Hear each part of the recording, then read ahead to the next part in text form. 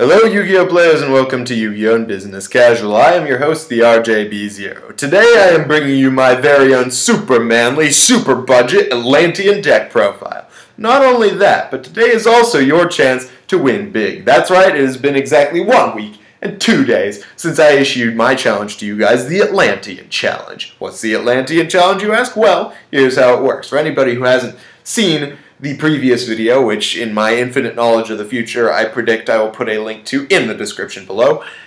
All you have to do to take up my gauntlet and enter into the Atlantean Challenge is to subscribe to me first and then to put a little comment down below about how much you want to be entered or whatever. Then, in order to complete the Atlantean Challenge, you have until I make my video on Saturday to create a superior Atlantean deck formula that costs under $75. There's the twist. You don't necessarily have to actually build the deck, but if you want to be really awesome and post a video response of it, that'll be super cool and you'll get extra points. But here's all you have to do is make that deck profile, send it to me via PM or by video response if you want to be super awesome, and you will be entered into a random drawing on Friday to win two packs of either Abyss Rising or Cosmo Blazer, your choice. But that isn't even the fun part. That isn't even the challenge, because if you just wanted to throw together something dumb, you could do that, and that will be perfectly fine. That will enter you into that drawing. But the fun part comes here. I will choose five of my favorite Atlantean deck profiles. And that will be based on competitiveness and fun and awesomeness and maybe even WTF factor if I think something's funny enough. I will choose those top five and I will feature those subscribers and those deck profiles in my video on Saturday, and those players will be entered to win three extra packs of Abyss Rising or Cosmo Blazer.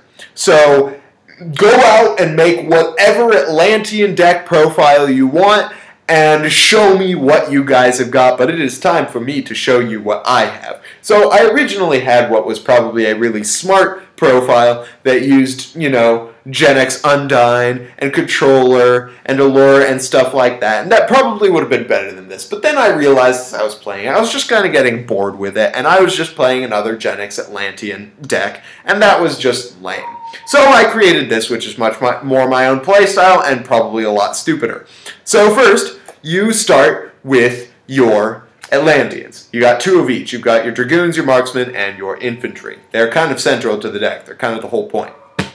Then, three Deep Sea Diva, because she's like tour guide but a tuner, so she's awesome.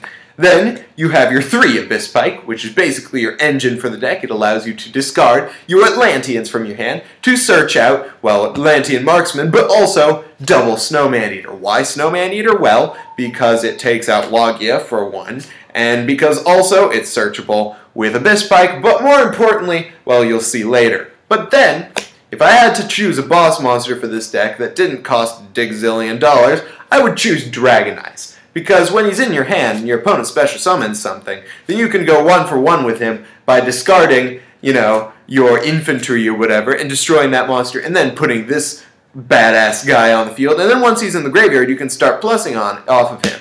But that is also why I include two card trooper because that guy can mill this guy and can also mill these guys and can also mill your Atlanteans. Why would I want to do that, you ask? Well, because Snowman Eater and Card Trooper are both targets for Debris Dragon. Why is Debris Dragon so important? Well, she can sync with Card Trooper for uh, Black Rose, or she can search with or sync with your Atlantean infantry for like an Orient Dragon or an Iron Chain Dragon, but most importantly, she can synchro with your searchable Snowman Eater for Gungnir. And once you get Gungnir in your hand, you start going for some serious pluses. So two Debris Dragon, you'll see how that works in a minute.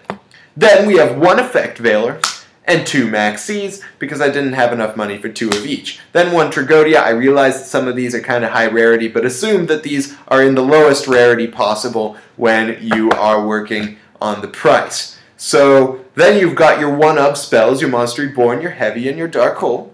And then you have two MST. And then the most important card in this deck, Triple Salvage. Because you mill so much and you get so many monsters in the graveyard and you really need to get them in your hands, you run three salvage because you're always going to have monsters in your graveyard, you're always going to have targets, and once you get monsters in your hand, it turns this guy into a plus, it turns Dragon Ice into a plus, it loads up for your Abyss Pike, and it's awesome. And just in case you run out of all that stuff, you've got a Pot of Avarice. So that works out in your favor, and then just for a little more draw power, you've got some Pot of Duality. Then you have two Torrential Tributes and two Bottomless and your Solemn Twins in order to protect yourself. My extra deck is very bare bones, but that's because I only had $75 to work with. What you have is, of course, your Gungnir Dragon of the Ice Barrier. Most important monster of the deck gets you super pluses.